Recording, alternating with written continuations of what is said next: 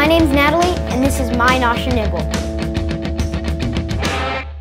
Welcome back to Nosh and Nibble. I'm Nathalie, and this is my last episode, so I'm going to make something a little special. Today, we'll be making matzo brei. Matzo brei is a traditional breakfast for Pesach, so I'm going to show you a quick and easy way to make it. The first thing I did was break one matzah into a bowl. Now, I'm going to take a third cup of any type of milk and pour it in.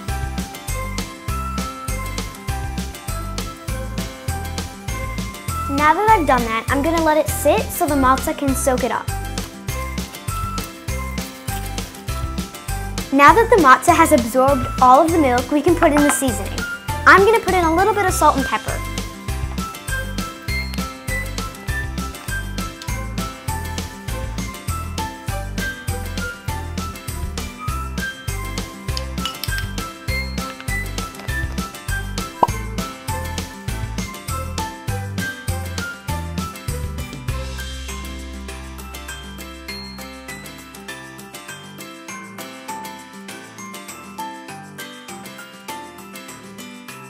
Next, I'm going to put in an egg.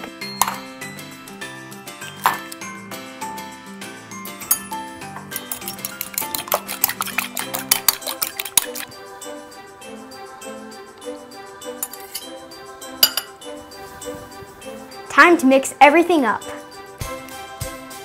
After everything's mixed, I'm going to put it into a microwavable bowl. That's my trick. It'll be done in three minutes. If you don't have a microwave for Pesach, you can do it in the oven too. Here we go.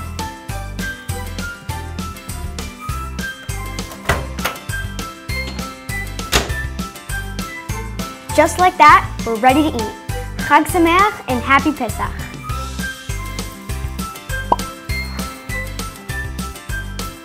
Thanks for watching.